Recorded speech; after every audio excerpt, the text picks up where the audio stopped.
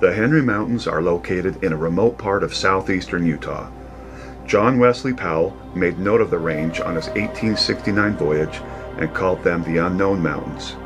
When he returned in 1871, he named them the Henry Mountains after Joseph Henry, a close friend.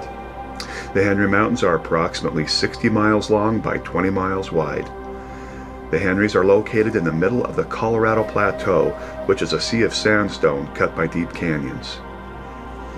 From north to south, the peaks of the Henrys include Mount Ellen, which is the northernmost and also the highest peak, having an elevation of 11,506 feet above sea level, Mount Pennell, Mount Hillers, Mount Holmes, and Mount Ellsworth.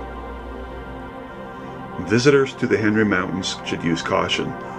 Roads are narrow and very rugged, and flat tires are common.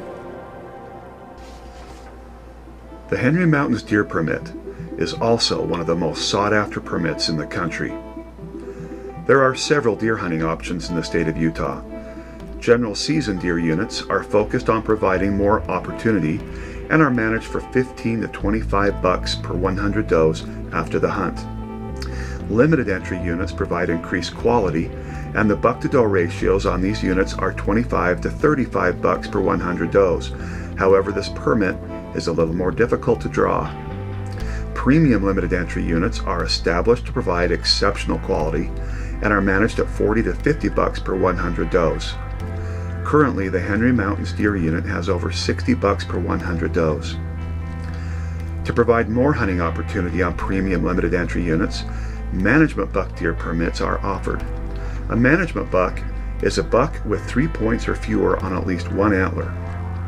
The goal of the management buck deer hunt is to not only provide more hunting opportunity, but to remove excess bucks from the Paunsaugunt and Henry Mountains premium limited entry units, which currently have high buck to doe ratios.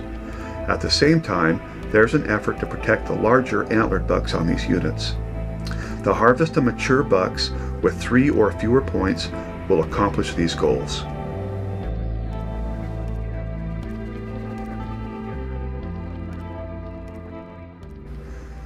Since 2006, the Division of Wildlife Resources, in cooperation with many agencies such as the Bureau of Land Management and many conservation groups such as the Mule Deer Foundation, Sportsmen for Fish and Wildlife, Sportsmen for Habitat, and other groups, have spent well over a million dollars on habitat projects on the Henry Mountain Range, ranging from water development, chainings, lop and scatter projects, reseedings, and other projects.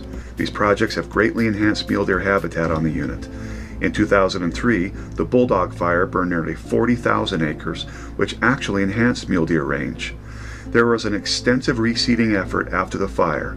Aspen and other vegetation has regenerated well through restoration efforts.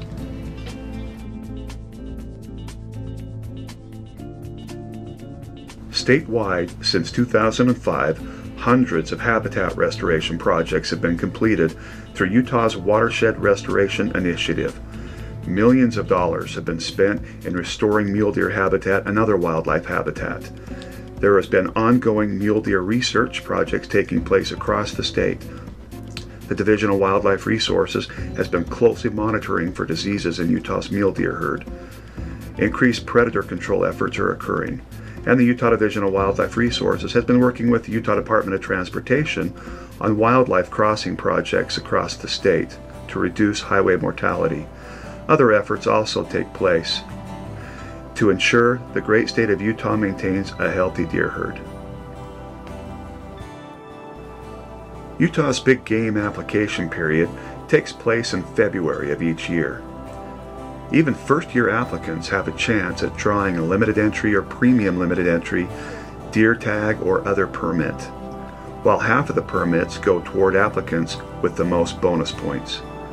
To learn more about applying for Utah's big game hunts, or to learn more about Utah's amazing wildlife, visit our website at wildlife.utah.gov.